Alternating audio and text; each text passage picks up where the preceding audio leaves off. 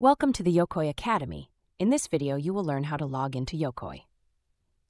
Yokoy can be accessed in two ways, either via the web app or via the mobile app. In some cases, you will need to activate your account before you can use Yokoy.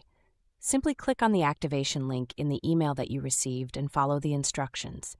The link is valid for 12 hours and can only be used once. To access the Yokoy web app, open your browser, either Chrome, Safari, Firefox, or Microsoft Edge, and navigate to our Yokoy login page app.yokoy.ai. To access the Yokoy mobile app, first download it from the App Store or Google Play Store and open it on your device. Enter your company email address and proceed to either enter your password or if your company uses single sign on, select the SSO method supported.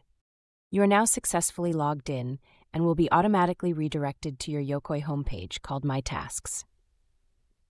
The web app allows you to perform all the functions of Yokoy and to act in all the roles assigned to you.